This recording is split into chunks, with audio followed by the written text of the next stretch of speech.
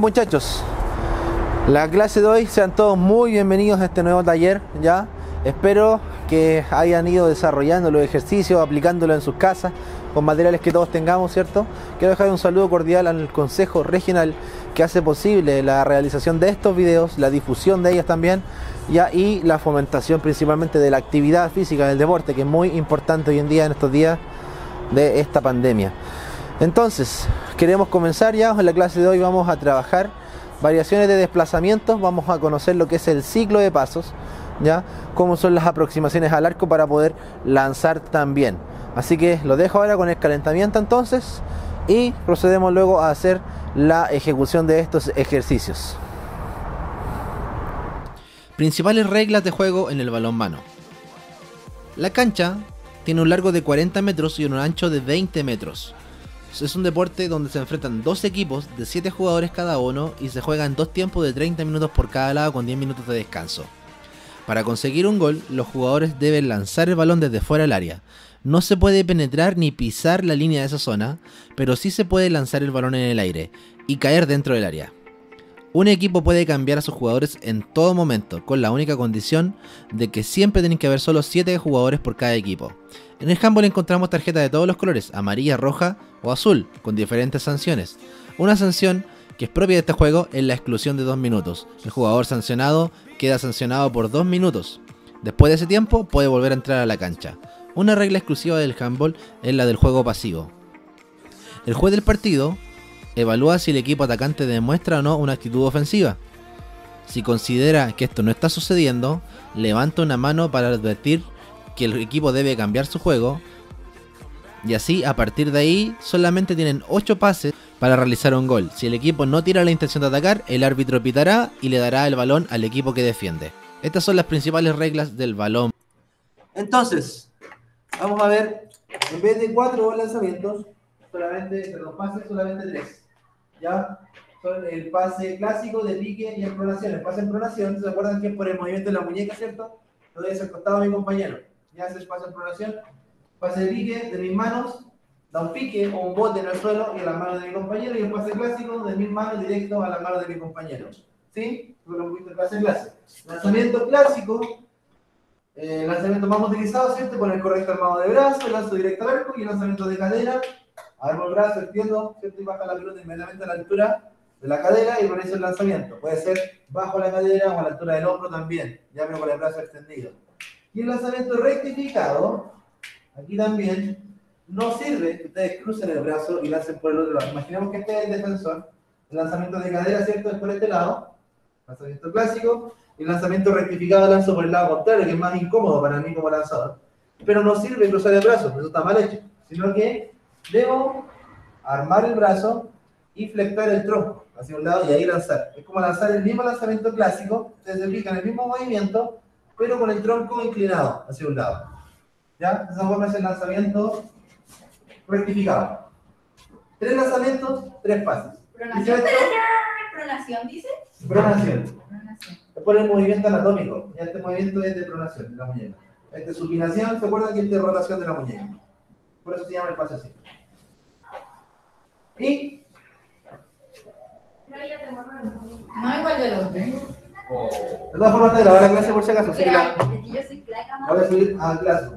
Vamos a hablar hoy día un poco también de generalidades del balón mano, dimensiones de la cancha, las principales posiciones que existen. Eh, y generalidades, por ejemplo, cómo se juega, ya cuáles son las principales jugadas, las jugadas más utilizadas, los cambios, todo eso. Y cualquier cosa de esta yo se las puedo preguntar en el momento de la evaluación. Por ejemplo, puedo preguntar, no sé, un nombre X. Eh, Matías Espinosa, por ejemplo, dígame, ¿a cuántos metros está la línea de tiros libres del arco? ¿Ya? ¿O cuántos jugadores son por cada equipo en cancha? Son seis. ¿Ya? Y ustedes tienen que responder correctamente también esas preguntas. La próxima semana, la próxima semana vamos a dedicar también la clase del día viernes para preparar el control del lunes. ¿ya? También no va a que sea en la sala. Y vamos a eh, armar los grupos de trabajo. Y si ustedes están de manera presencial, obviamente lo van a ejecutar también en grupos. Y eh, en la casa también vamos a armar los grupos y vamos a presentar la rúbrica de trabajo, la rúbrica de evaluación y también eh, te tienen que conectar por grupos. Ya, igual que la evaluación de las cualidades físicas, nos vamos a conectar por grupos para que ustedes enciendan. ¿Cómo? Lo voy a hacer yo por dando lista igual. No, no, no, no, no nosotros que hay más coordinación, tipo que hay gente que se. Puede ser, puede ser. Pero ahora que ya los conozco un poquito más, yo primero lo hice así porque no los conocía tanto. Pero ahora ya los conocemos un poquito más y podemos trabajar quizás por afinidad a los grupos. ¿ya? Eh, van a ser grupos no más de 4 o 5 estudiantes, ¿ya? y vamos a poner horario de conexión, ¿ya? de no más de 5 o 7 minutos. Y, eh, silencio por favor. Y Vamos a trabajar entonces de esa forma, enciendan su cámara, los chicos que están en la casa, ya esta vez no va a haber excusa. Una de las cosas que voy a eliminar va a ser eh, la recepción de los videos, no voy a aceptar videos, ya porque como estamos cerrando el trimestre con esta evaluación, hasta el 3 de septiembre tengo para poner la nota. Por lo tanto, sí o sí, tenemos que evaluarnos dentro de la clase. Como ustedes saben, se tuvieron reunión de apoderado ayer, ¿cierto? Sí. Cambió el protocolo y algunos artículos con respecto al tema de la evaluación. Y hoy en día, si eh, un estudiante no justifica su inasistencia, eh, inmediatamente se le da el plazo hasta la clase siguiente, ¿cierto? Pero esta vez con un 60% en vez de un 50% de exigencia. Y si aún así no, no se presenta o no justifica, se evalúa con nota mínima. ¿Bien? Así que esta vez, por lo menos, en esta, en esta vez, va a ser así. Para los estudiantes que varios plantearon que tenían mala la cámara o no tenían cámara, hoy en día, desde ya tienen más de una semana, para también arreglar esa situación. E incluso hay aplicaciones ¿cierto? que si conecto con la misma red Wi-Fi, mi teléfono o el computador están conectados a la misma red Wi-Fi, puedo ocupar la cámara del teléfono como cámara Bueno, Hay un montón de aplicaciones en que también se puede utilizar de esa forma. Entonces no hay excusa, ¿cierto?, para rendir el control. Lo otro es que solamente vamos a también el requisito, dos cosas, tener una pared, ya un muro por el cual hacer rebotar la pelota, o en la casa si tenemos a alguien, ¿cierto? En el círculo cercano, eh, para que me devuelva el pase. Eh, y la pelota, ¿ya? La pelota va a ser para los que están en el colegio, obviamente los balones están disponibles. Y en la casa, en la casa también tiene que haber construccionado un balón, la idea no es que compren una pelota, pero si tienen ustedes desde ya una pelota en la casa, también sirve para el control. Eh, es requisito para rendir también la evaluación. Va a ser también un ítem que voy a evaluar, que ustedes tengan el implemento para la evaluación. ¿ya? Así que ojo con eso, los que están en la casa y todavía no han hecho, o los que están acá y todavía no han hecho el implemento, háganlo, díganme. Y yo tengo una pelota, pero no ¿Ya? A eso voy a apuntar ahora. Por ejemplo, vamos a hablar del caso del dribbling, porque también vamos a hablar del dribbling. Si usted tiene una pelota y no da bote esa pelota, el dribbling lo evaluamos en el aspecto teórico. Le voy a hacer una o dos preguntas con respecto a ese fundamento. ¿Sí? Si usted tiene una pelota que da bote de cualquier tamaño, básquetbol, voleibol, fútbol, de tenis, de campo, no sé, cualquier cosa, de goma, si da bote, puede rendir la parte del dribbling con ese balón. ¿Ya? Pero el requisito también es que ustedes puedan tomar la pelota con una mano. ¿Ya? Por lo tanto, si es una pelota de básquetbol grande y no la pueden controlar con una mano, es difícil que puedan dar pases o lanzamientos. Y en ese caso, la recepción del balón se va a ver afectada y va a bajar su nota. Ya, por lo tanto, si ustedes tienen una pelota de básquetbol que da bote, les invito a igual confeccionen una pelota del tamaño de su mano para que puedan también realizar los otros fundamentos, ¿ya? Que son el de pase y el de lanzamiento, el de la recepción del balón. ¿Se entiende eso? ¿Sí? Si dicho eso, entonces, por ejemplo, un chico en otro curso me dijo, profesor, yo tengo la pelota de mi perro, y me la mostró, que la podía controlar con una mano, era del tamaño de la de la de buenos manos. Perfecto, la puede, puede perfectamente rendir el control con eso. Si usted tiene un balón en su casa, eh, no es necesario que confeccione uno. No es obligación confeccionar un balón. Solamente es la opción para los que no tienen una pelota, ¿cierto? Y no estén comprando una. Se puede hacer de papel de diario, con el de scotch, de scotch directamente, de, un montón de materiales reciclados, ¿cierto? De mm, papel de diario, con calcetines hicimos una, ¿cierto? Etcétera, etcétera. Un montón de elementos que se pueden realizar una pelota. Dicho eso, con respecto a la evaluación, eh, en la casa si tienen alguna duda, levantan la mano y me, se desmutean solamente y preguntan. Vamos a hablar un poquito acerca de las dimensiones del campo de juego, bien rápido, de manera bien general. ¿Cuál es el largo y el ancho de la cancha? ¿Quién se recuerda?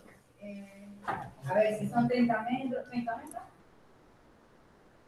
¿Va a adivinar o va a responder? 30 metros. Ya, muy bien, un 2. Ah. Porque son 40 metros.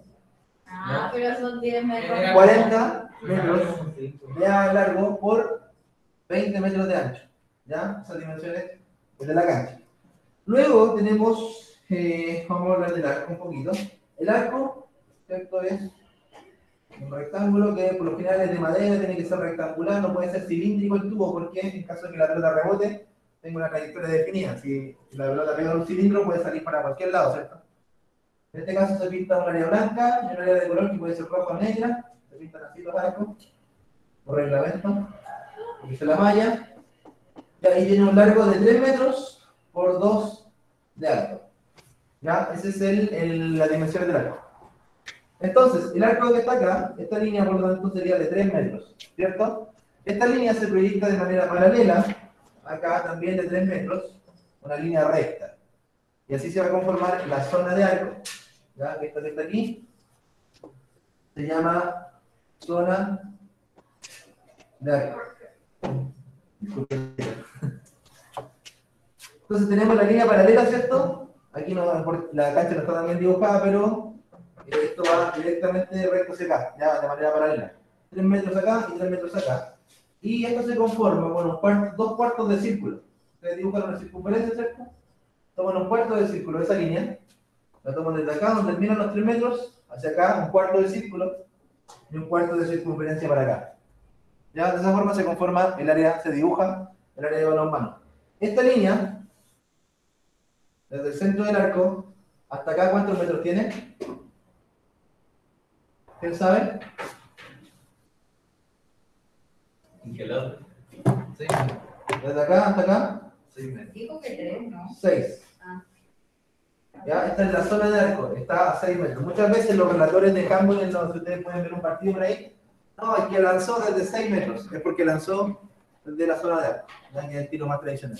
Luego, tenemos lo que también los relatores dicen, el disparo de 7 metros, porque aquí a 7 metros del arco está ubicada la línea de lanzamientos de penal, los penales. Y esta línea segmentada, ustedes ven aquí, está a 9 metros del arco. Desde acá son los tiros libres. ¿Ya? Tiros libres, o como le dicen los españoles, ¿cierto? En la nomenclatura española, golpe franco. No va a escuchar así por golpe franco, pero son tiros libres. Debemos explicar cómo se ejecuta el tiro libre. Ya lo hemos visto en otras clases, pero no vamos a recordar hoy día. Si hay una falta acá, por ejemplo, y el equipo está de la X aquí, tiene que salir todos fuera de los 9 metros para ejecutar el tiro libre. Ya eso lo vamos a ver después en el video. Entonces, principales líneas, entonces, la de 9, la de 7 y la de 6. ¿Ya? También aquí una rayita, ustedes se fijan esta de acá, está en la zona de arco. Esta aquí, esta hasta 4 metros. Muy bien, vamos a terminar esta sesión entonces con una buena elongación. Siempre muy importante la elongación. Vamos entonces al mismo ejercicio que hicimos al principio. Tomo el brazo y lo aprieto contra mí de esta manera y contamos hasta 10. 1, 2, 3, 4, 5, 6, 7, 8, 9 y cambio, lo mismo. Aprieto el codo contra mí y cuento hasta 10. 1, 2, 3, 4, 5, 6, 7, 8, 9 y 10. Muy bien. Tomo el talón y lo llevo al glúteo, tomando la punta del pie. De esta forma. Mantengo el equilibrio siempre. Cuento hasta 10. 1, 2, 3, 4, 5, 6, 7, 8, 9 y 10. Y cambio.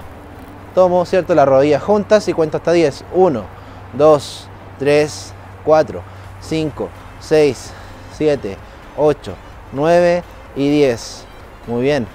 Separo levemente las piernas y me inclino hacia un costado con los talones pegados al piso, sin levantar los talones. Y ahí cuento hasta 10. 1, 2, 3, 4, 5, 6, 7, 8, 9 y 10. Y me inclino hacia el otro lado. 1, 2, 3, 4, 5, 6, 7, 8, 9, 10. Doy un pequeño paso al frente. Esta pierna se flexiona y tomo la punta del pie. Y cuento hasta 10. 1, 2, 3, 4, 5, 6, 7, 8, 9, 10. El otro pie. Cuenta hasta 10. 1, 2, 3, 4, 5, 6, 7, 8, 9, 10. Elongamos también nuestros hombros con la mano a la altura del hombro y presiono de esta forma giro mi cuerpo en este sentido. 1, 2, 3, 4, 5, 6, 7, 8, 9, 10. Lo mismo con el otro brazo. Y cuento. 1. Trato de pegar el hombro al muro. 2, 3, 4, 5, 6, 7, 8, 9, 10. Muy bien chicos, espero les haya gustado la clase de hoy. Los invito a que la próxima clase sigamos conectándonos y vamos a ir trabajando poco a poco los fundamentos del balón mano. Tanto los lanzamientos, las recepciones, el ataque, la defensa, el dribbling también que es muy importante, ¿ya? Y siempre ir trabajándolo con los materiales que tengas en tu casa, ¿ya? Entonces, nos vemos, un saludo, que estén muy bien. Recuerden, siempre te a estas clases una botella de agua, una toalla para secarte tu sudor en caso de y algún material cierto para marcar en el piso. Pueden ser latas, botellas, zapatillas, calcetines, piedras, lo que tengas en tu casa para solamente simular unos conos, en reemplazo de unos conos, ya porque vamos a hacer y trabajar algunos desplazamientos. Entonces, y un balón, obviamente, un balón también que lo puedes fabricar tú o adquirirlo en cualquier comercio. Entonces, te invito a conectarte a las próximas clases y que puedas estar atento cuando subamos los videos cada semana. Que estés muy bien, un saludo, nos vemos. Chao, chao.